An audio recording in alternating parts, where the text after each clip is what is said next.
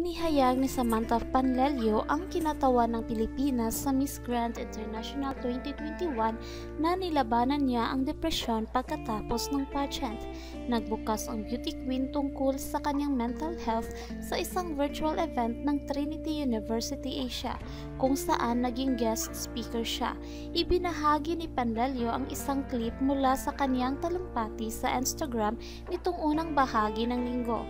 Hindi nakapasok si Panlelio sa semifinals ng Miss Grand International Competition, isang pagkabigla sa maraming pageant fans dahil sa kanyang impressive preliminary performance. After competing in Thailand, I felt so lost frankly because of the way that some things turned out and I was also reading so many comments online, sabi niya. I felt that people were putting out each and every flaw that I have and it was just so hard to accept. Pinagsasama ang kanyang sitwasyon noong panahong yon ay isang kamatayan sa pamilya.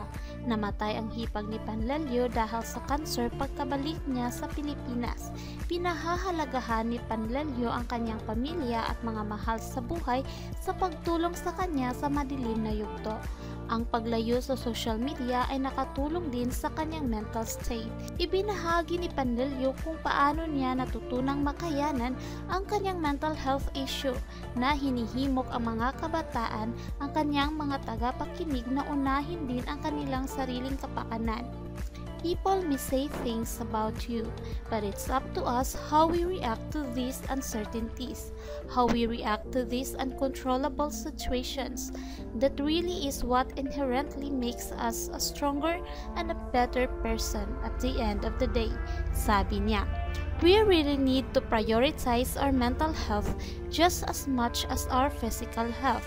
If that means you taking a break from social media, distancing yourself from everyone, then that's okay because you know yourself best.